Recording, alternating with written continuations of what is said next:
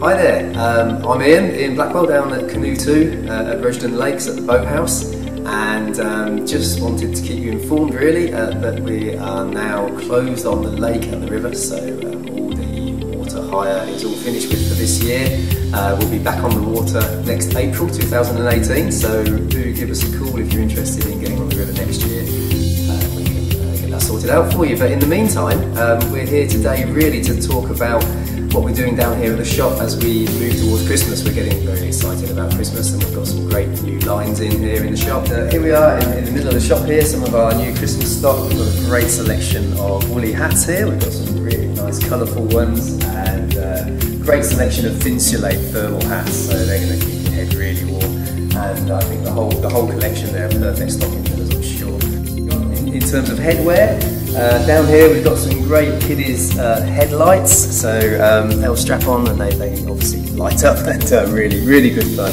And, um, and one of our many displays of, uh, of gift vouchers, so we're, uh, we're very keen and we always find that the gift vouchers are, are great sellers over the Christmas period of course. And they can be uh, denominations anything from £10 to 20, 50 or 100 and um, we can package them up in a nice gift box there for you to, uh, to wrap up perhaps and, and, give to your loved ones. And the, the great thing about the vouchers is uh, whilst you might have a particular use in mind when you give them, they can be used against trips on the river, uh, trips on the lake, lake hire, uh, or indeed used for, for any items here in the shop. And a selection of canoes and kayaks, which are always here in the shop of course, and uh, will certainly remain available over the Christmas period, so they're not to be overlooked uh, if anyone's thinking of moving on to a new craft. Items that are often uh, always here, I should say, the paddles and buoyancy aids, and a whole new range here of true utility um, pocket tools, uh, which are absolutely brilliant. They're perfectly packaged.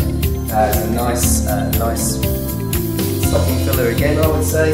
Um, and a, really wide selection, so all sorts of options uh, little, little tiny um, pocket knives like this through to the trolley dolly.